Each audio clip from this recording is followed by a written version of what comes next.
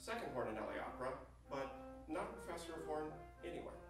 We thought we would do a quick clinic on preparing video auditions for college, though these guidelines would apply to pretty much any audition. If you were auditioning in person, you would want to dress well, play well, and present the best version of yourself to the panel listening to you. You can't edit a live audition, so while you can retake your video audition, editing is pretty much a no-no. I actually just recorded an excerpt. I only did a touch of editing, but it should be good to go. Well, okay, let's hear it.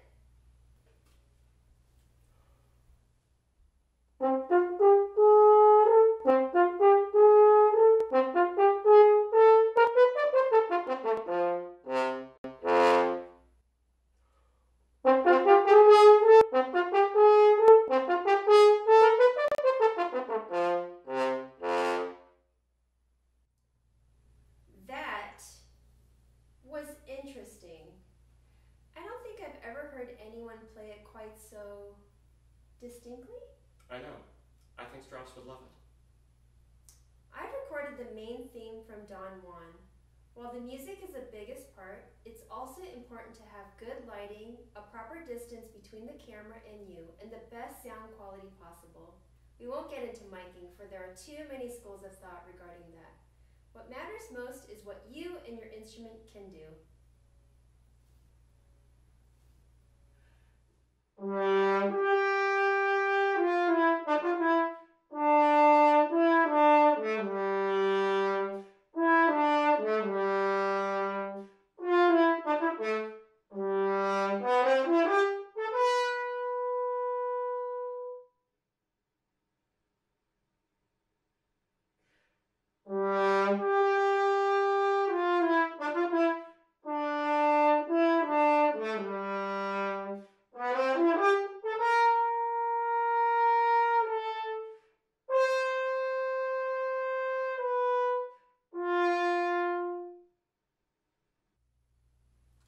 was fantastic. Seriously. How far away was your camera? About six feet. I actually use a zoom, which also records, which makes it simple. Lighting? Well, I had to use a couple lights to make sure the visual was good. Way too often the performer isn't well lit, which distracts from the whole. And what kind of room did you record in? My living room, it's not too large, so it has just enough size to add a natural reverb. I've actually been playing around with different reverbs see what might make me sound the best. And I suppose you want to demonstrate? Well, I nailed Till, so how difficult could Lohengrin be after that?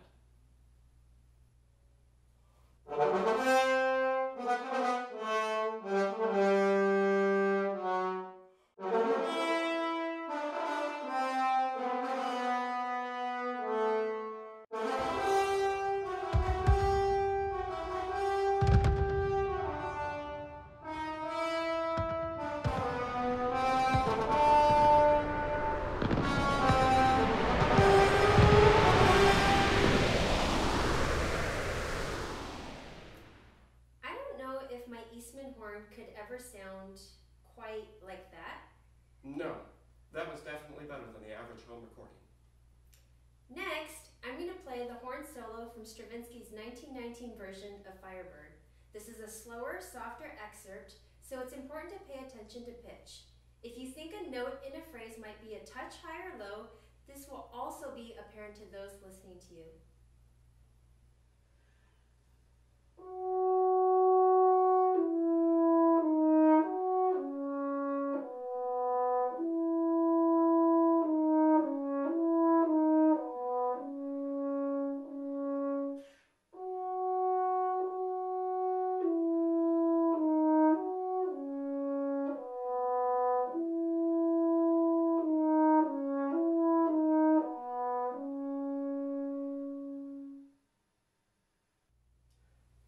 Was beautiful.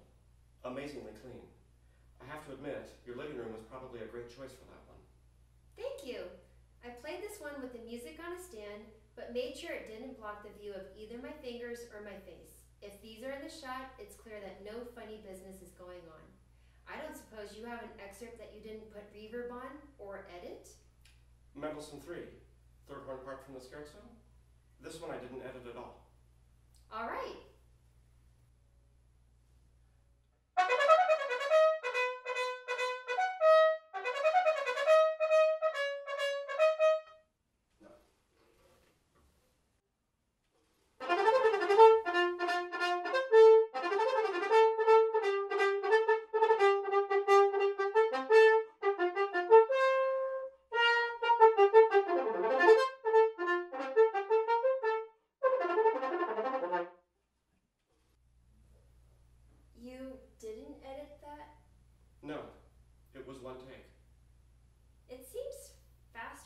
Remember.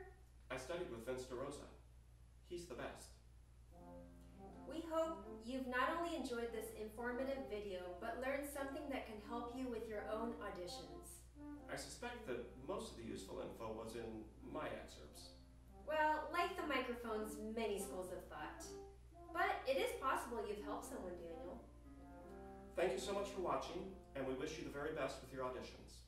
If you have any questions or wish to apply to study French horn with me here in beautiful Southern California, feel free to email me at jennykim at yahoo.com. That's J E N E E K I M at yahoo.com. Thank you so much for listening.